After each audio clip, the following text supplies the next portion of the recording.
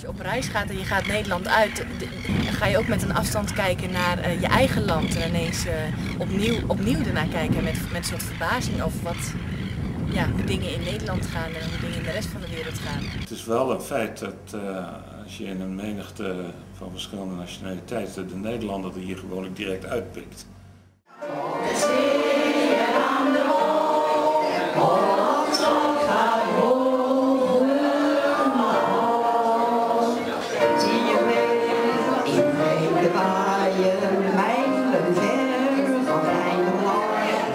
Rustig aan de morgen zwaaien als een groet uit vaderland.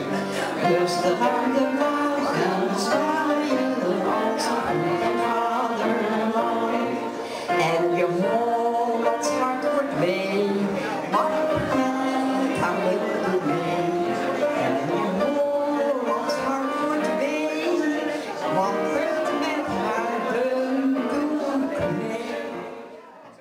De reacties in Nederland uh, op de uh, uitlating van prinses Maxima, die waren heel bewogen.